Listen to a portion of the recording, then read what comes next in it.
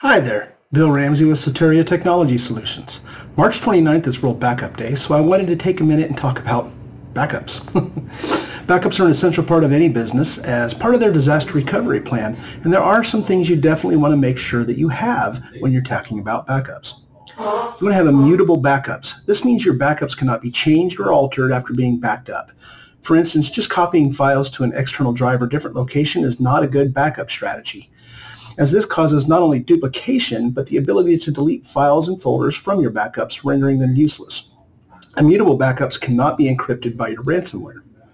Automated backups. Look, we all forget. There are days I forget my name, let alone to go back something up. So your backups need to be automated, be it daily, hourly, or even every 15 minutes.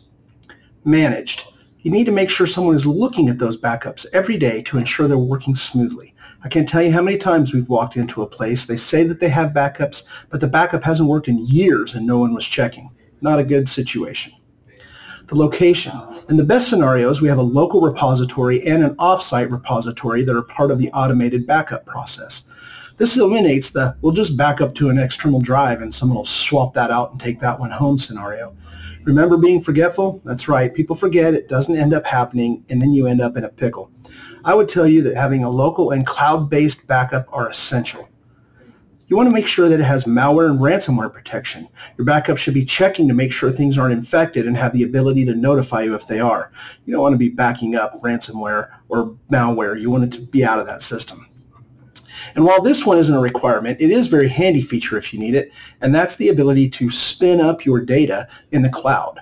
For instance, if your building and equipment is lost in a tornado, and we're in Kansas, so that, that happens all too frequently, we have the ability to spin up your server or environment in the cloud, and then you can continue to operate.